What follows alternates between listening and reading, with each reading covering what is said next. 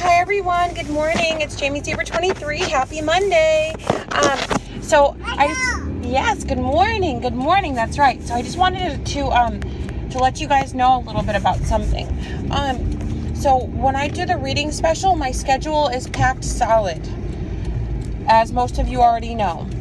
Um, so if for some like I'll send when when I schedule people, I send them everybody the same email. You know, I need your phone number, I need your first name, I need your zodiac sign, and a little description of what this is in regards to.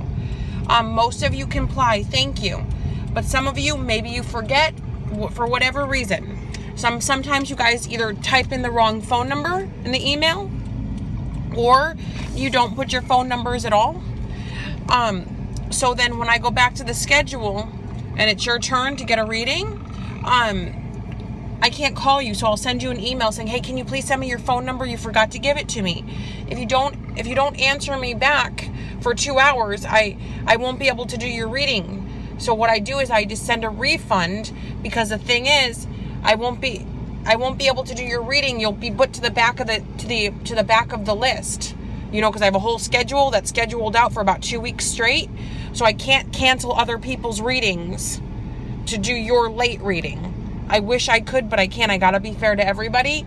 So instead of telling you, emailing you back saying, oh, it's gonna be two or three weeks before I can do your reading, I'd rather just give you the refund so there's no hard feelings and plus i can't keep track of all of it so that's why anybody who doesn't you know didn't give me provide the information so i can do their reading. I just refund it out of respect for you because i don't want you waiting and wondering. So i i give i give you guys the refund. I send you a screenshot and i let you know it'll take three to five business days before you see it in your account.